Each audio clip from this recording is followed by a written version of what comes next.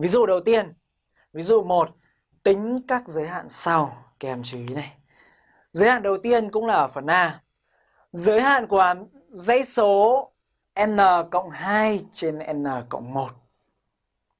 Tại sao chúng ta lại biết nó là vô cùng trên vô cùng? Thì các em chú ý ở đây, khi n tiến dần tới vô cùng thì n cộng 2 cũng sẽ là vô cùng. Đúng chưa? Một số rất lớn cộng thêm có hai đơn vị thôi thì nó cũng vẫn là một số rất lớn. Tương tự, n cộng 1 cũng sẽ là vô cùng. Vậy nếu như chúng ta thay n tiến dần tới vô cùng vào thì chúng ta thấy ngay cái dạng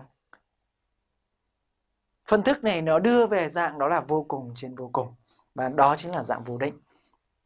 Vậy đối với phần A, chúng ta sẽ giải quyết như sau.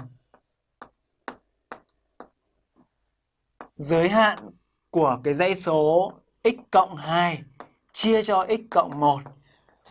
Đây, đá thức này. Chia cả tử cả mẫu cho lũy thừa cao nhất của n. Thầy xin lỗi, chỗ này n nhá. Thầy viết thành x. n này, n này.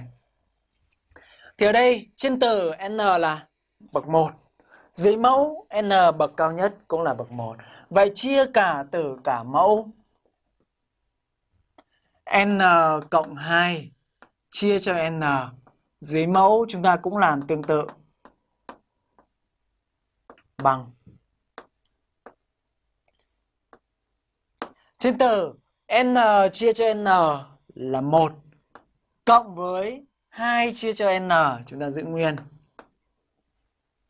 Tương tự thằng này 1 cộng với 1 trên n. Đúng chưa? Bây giờ chúng ta bắt đầu đánh giá này. Khi n tiến dần tới dương vô cùng, thì chúng ta có cái giới ở cái phần giới hạn đặc biệt ấy. Giới hạn đặc biệt của cái giới hạn hữu hạn có là gì? Giới hạn của k trên n khi n tiến dần tới dương vô cùng thì luôn luôn bằng 0 với k là một số hữu hạn.